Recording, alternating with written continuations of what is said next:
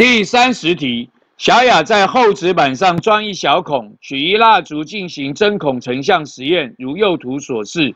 其余墙壁上所得的成像性质为下列何者？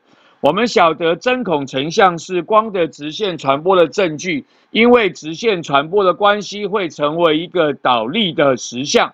那么对于上下而言是倒立，对左右而言就是相反。